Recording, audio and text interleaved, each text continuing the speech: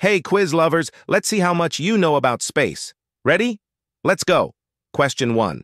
Which planet is known as the red planet?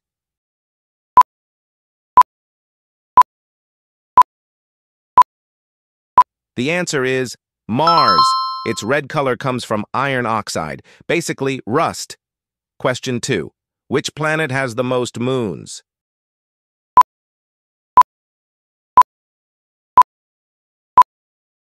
It's Saturn. It has over 140 moons. That's a lot of company up there. Question 3. How long does sunlight take to reach Earth?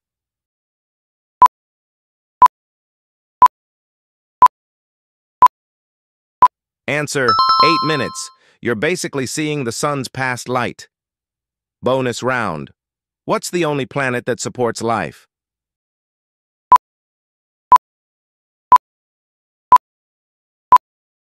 Yep, it's Earth, our home, our miracle planet. Comment your score below and follow for more quick quizzes like this.